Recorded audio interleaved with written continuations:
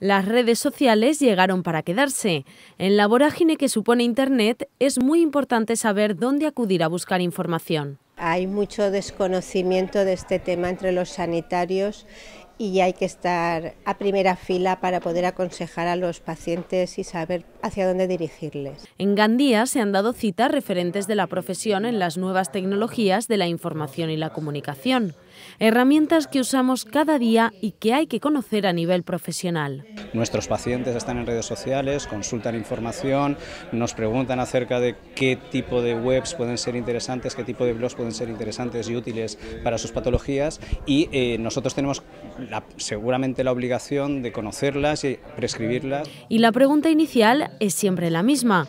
¿Por dónde se empieza? Un ejemplo. Empecé con chuletas médicas, con una especie de cuenta, pues como para complementar todo aquello que la gente iba aportando, pero en otro formato diferente y luego aparte pues en mi blog para compartir todo aquello que voy haciendo aquí en el hospital, pues sesiones clínicas o estoy, preparando algún tema o por ejemplo me, dedico a estudiar un tema que no me acuerdo muy bien o que he visto un paciente en concreto de una patología concreta, pues la quiero buscar, quiero, me, quiero documentar, pero en lugar de quedármelo para mí, pues publicarlo con más gente que, pues, probablemente esté en la misma situación que yo. Y un consejo es hablar de aquello que te interesa y que te gustaría que te contaran. Pues en el blog decido un poco que sea relacionado con la temática de la neonatología y que crea o que pueda aportar a los profesionales sanitarios, sobre todo a las enfermeras y si no a los padres.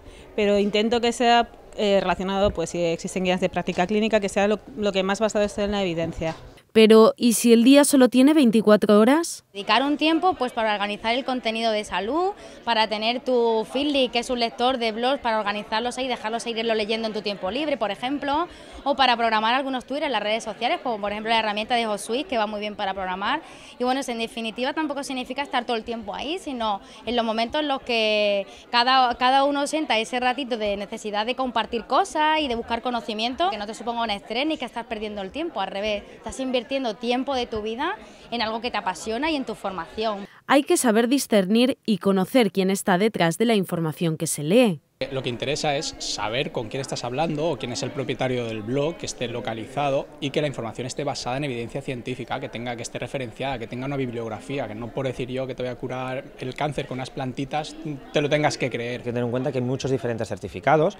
Desde el Colegio de Enfermería de Valencia lo que estamos intentando es también realizar algunas certificaciones, porque vemos muy importante este, este campo y está un poco estancado. Estamos trabajando mucho y a través, como siempre hemos comentado, la plataforma EMECUM, en el cual queremos agrupar todos estos eh, recursos digitales a nuestra disposición. Recursos que, como la realidad virtual, forman parte ya de la formación del profesional de la sanidad y amplían y mejoran la atención de los pacientes. Está demostrado que los pacientes son más participativos cuando ellos tienen un entorno audiovisual en el que entrar e incluso para formar a los futuros estudiantes y eh, mejorar la calidad de los cuidados que ofrecen los profesionales de enfermería.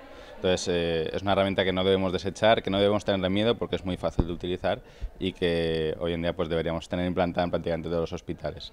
Internet es una ventana abierta al mundo, pero tanta información puede confundir al usuario. Es la llamada infoxicación. Voy a hablar de la curación de contenidos, que es un proceso eh, que, nos va a permitir precisamente eh, reducir esta infoxificación, otras que son a nivel de búsqueda de información, otras de selección de información, otras que son para añadir nuestro propio valor a esta información que previamente hemos buscado y seleccionado y luego para compartir. Entonces pues, pues tenemos herramientas como Feedly para organizar nuestros recursos informativos, herramientas de selección como por ejemplo escritorios virtuales.